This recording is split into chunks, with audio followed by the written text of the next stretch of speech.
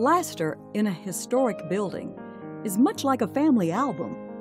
It has the handwriting of the artisans, the taste of the original occupants, and the evolving styles of decoration are embodied in the fabric of the building.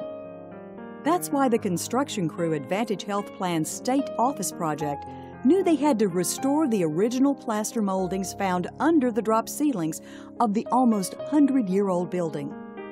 So when workmen were getting the state building down to the bare bones to start their reconstruction work and found architectural treasures, Jerry Brazier searched for a true plaster craftsman who could recreate the missing pieces.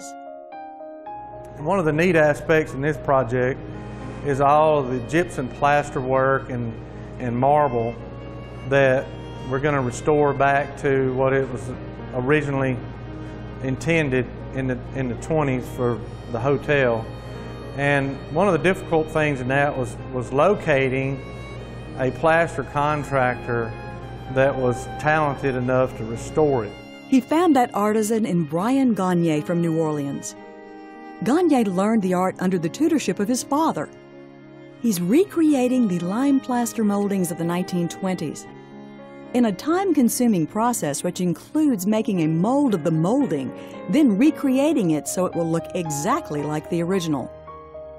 I'm using the old way because for me to recreate what we did have, I have to more or less make a replica of what they had and using the same type of uh, materials they used before. It's the same process.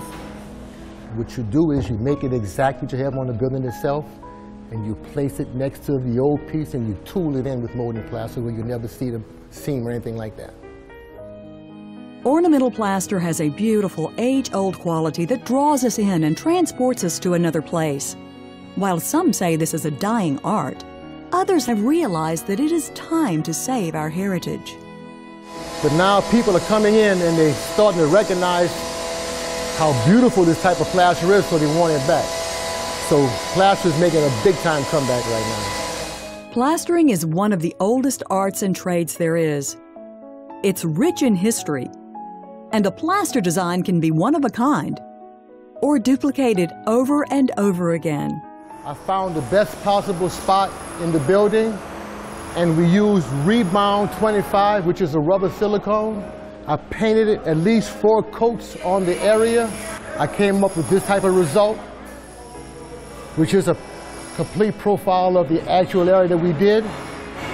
After that, I made a mother mold, which is made out of uh, molding plaster and lime, and I backed it with a burlap sap to make it strong so it won't break. I placed everything in the mother mold. I mixed molding plaster and lime. Then I poured it inside the mother mold itself. And then after a process for maybe 10 minutes, it took up and I pulled it apart and this is what you have. Once the Vantage State Building is finished, it will serve as a showplace for Ganier's artistic handiwork and be admired and appreciated for many years to come.